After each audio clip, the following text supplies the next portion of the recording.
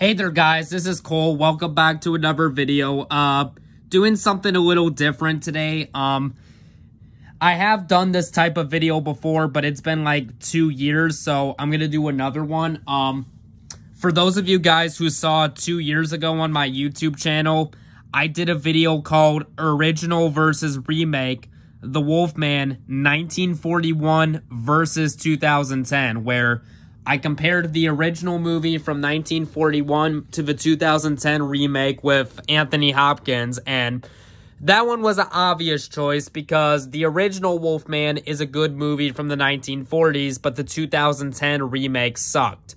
And we are getting another Wolfman remake next year, so I don't know. We'll see how that one turns out, but decided I'm going to do something a little different. Um, Today's original versus remake I'm going to be doing is of a sci-fi movie, and that, of course, as you could tell by the title of the video, it, as you could tell by the title of the video, is original versus remake, War of the Worlds 1953 versus the 2005 remake with uh, Tom Cruise and Dakota Fanning, directed by Steven Spielberg. And this is, uh, and now when it came to the Wolfman video, that, like I said, that one was obvious because the original Wolfman is a good movie from the 1940s and the 2010 remake sucked. This one's a little different because the difference, uh, because the difference is with this one is that there is, uh, of these two movies, there is not a bat like, of these two movies, the 1953 War of the Worlds movie and the 2005 remake, there's not a bad movie between these two. And when it comes uh, now, now granted, uh, it's now granted, even though, granted, even though I do think that both of these, they, uh, at the end of the day, both of these, they are good movies.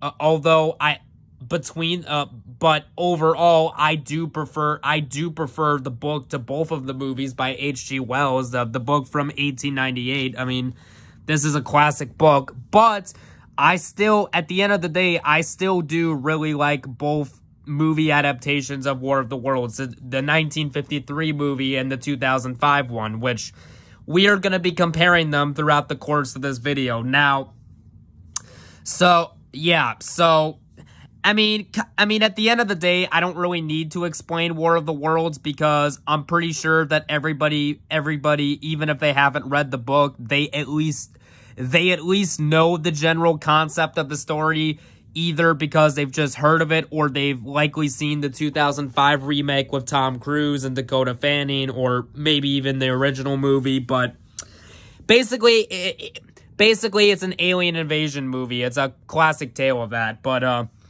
without further ado let's get into uh this original versus remake debate. Now uh, the the way okay, so the way I decided to judge this criteria, I'm judging okay, I'm judging this based on like five factors, and the five factors that I'm gonna be judging are the special effects, the cast, the pacing, the soundtrack, the story, and uh, yeah, uh, the way I'm gonna be judging this criteria is the special effects, the cast, the pacing the soundtrack, the story, and cinematography, and then we're going to add up the points at the end. So that is how I'm going to be judging this criteria. So without further ado, let's get into it. Now, the first criteria is special effects. Now, when it comes to special effects, uh, uh, which movie am I going to give the point? The original War of the Worlds from 1953 or the 2005 one with Tom Cruise? For this one, okay, for this one, I'm uh for this one, I'm to give a point to, I am to give a point to the original movie from 1953 and the reason I think the original movie has better special effects is because now the reason I I give a point to the original movie is because as much as I like the 2005 one with Tom Cruise, a lot of that was CGI effects, but I personally prefer when movies use practical effects, and the original War of the Worlds uh, does that. So, for, so I'll give a point to the original movie on that one. Now, as for the cat, now as for the cast, uh, this I really had to think about this one because this one is quite diff. Uh, because this one was honestly quite difficult to judge because both movies have a good cast because, I mean, the 2005 remake, you have Tom Cruise and, and Dakota Fanning, and both of them are good actors slash actresses. They're both good. And you also have other actors in this, like Tim Robbins, and so you got a really good cast in the remake.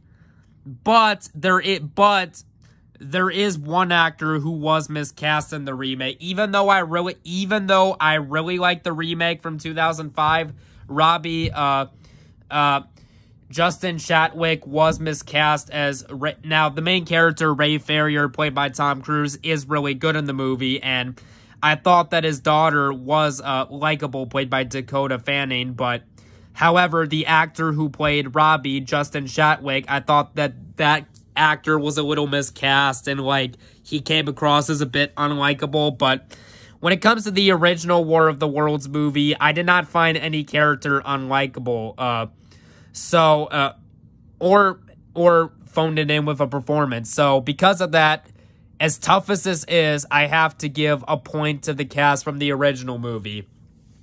Now, as for the, now, as for the pacing, uh, now, as for the pacing, I'm, uh, now, as for the pacing, I'm gonna give, I'm gonna give the, I am gonna give the point to the 2005 remake with Tom Cruise, and now, when it comes to the original War of the Worlds movie from the 1950s, I really like it. It is a, it is a good movie, but but there are it is a good movie, but there are some parts that I do think are a little slow. I mean, the pacing for the most part is good in the original, but a little slow in some scenes, but I didn't really feel any pacing issues with the remake, 2005 remake, so I'll give a point to the remake. Now, as for now, as for the story, now, I know some people are going to be like, oh, but the story's the same. It's alien invasion. Well, yeah, but but the focus of who the characters are are different in the remake. And as much as I like the story in both movies, I'm going to have to also give a point to the 2005 remake. Uh, I'm also going to have to give a point to the 2005 remake. Uh, for its story, and the reason I give it that point is because, now granted, as much as I like the original War of the Worlds movie from the 1950s, as much as I like that movie, it as much as I like the original movie, it doesn't necessarily focus on just like two characters because the original War of the Worlds movie, it focuses on multiple different characters at once. There's not really a main lead you're following and me personally, I prefer a movie where you're just following one lead. So, you know, even if the original movie is good, which when it comes to the original War of the Worlds, uh, I do like the movie. It is good, but I just think the story is a little better and a little more focused in the uh, remake. So I'll give a point to the remake for the story. In terms of the soundtrack, now this is tough because the original the original movie the original War of the Worlds movie has a really good soundtrack, but I can I don't know, just I there's something about the soundtrack in the 2005 Tom Cruise remake I like a little more because whenever the, whenever there are intent whenever there are intense moments in the remake, the soundtrack is like eerie and like there is really good there is really good tension in this movie. Like uh for example, early on in the movie, Ray Ferrier played by Tom Cruise they see like uh, the giant alien ship uh, tripod coming out the ground and basically it's just blasting people vaporizing them to pieces and the soundtrack is genuinely haunting right there so i'll give a point to the soundtrack to the remake and in terms of the cinematography, I'm going to give the cinematography to the 2005 movie with Tom Cruise just because I think the cinematography, especially in some certain scenes, is really good. And there is good tension in the movie. Like uh, for like for example, when uh, Ray Ferrier, played by Tom Cruise, uh, he's driving the you know because he he's basically a father with two kids. You know, there's the intense part of the movie where he's basically driving his uh, truck and you know his you know his daughter you know has to go use the bathroom and she basically runs up to a lake and this is a PG-13 movie and it is a science fiction movie but the part, you know, the part where the little girl played by Dakota Fanning, the part where she sees a bunch of dead bodies floating in the river, that is pretty unsettling for a PG-13 movie. So, yeah.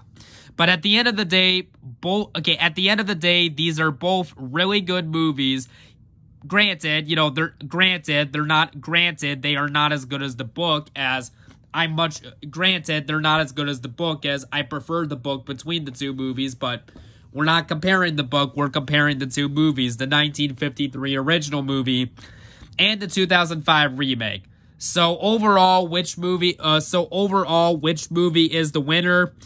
My choice for the winner is the 2005 remake and the uh and uh so when it comes to the the total score of points, the original movie has 2 points and the remake has 4 points. So the winner is the remake, which I know now I know people watching this, I know that is to be I know that is to be a very hot now listen, I like both movies. They're good movies, but I am one of the few people who prefers the remake and I know that opinion I know that opinion is going to get me a lot of crap, but honestly, I don't care. It's my opinion, okay?